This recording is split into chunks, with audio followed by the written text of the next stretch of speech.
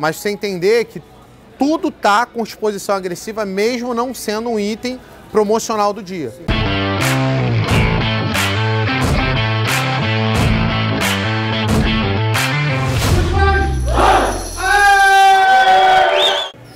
Lembrando que o único setor que está em ação hoje na loja é o FLV, o Hortifruti. Só o hortifruti está em promoção.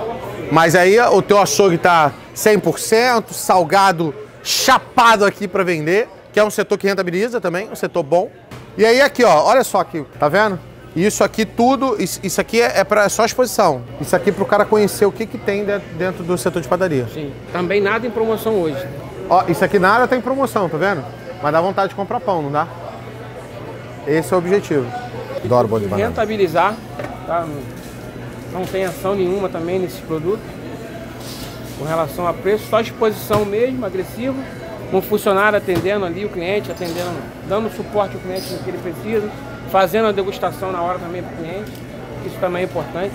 Tem degustação também desses itens? Tem, Hoje tem. tem. Então, a gente está tá alguns minutos a loja abrir. Então aqui vai virar uma mesa de salgados, tá? Que ele vai colocar também exposição agressiva. Aqui é a mesma coisa, tá vendo? Isso tudo aqui tá descendo, ainda vai encher aqui. Mas você entender que tudo tá com exposição agressiva, mesmo não sendo um item promocional do dia. A ideia é a loja tá 100% e ainda focando em um monte de itens para rentabilizar a operação, que não é o item lá do FLV. que o que está na promoção rasgando mais barato que tudo é o FLV.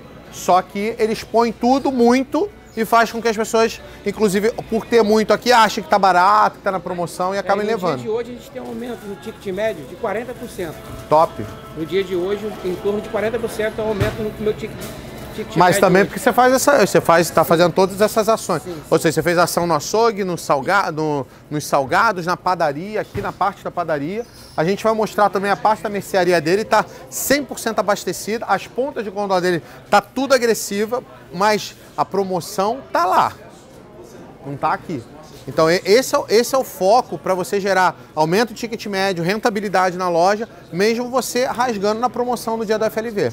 E nessa ocasião de hoje, nesse momento que a gente está vivendo, né? É menos gente na loja É exatamente. com aumento do ticket médio. Que é o melhor dos mundos, né, cara? Você tá vendendo mais por cliente.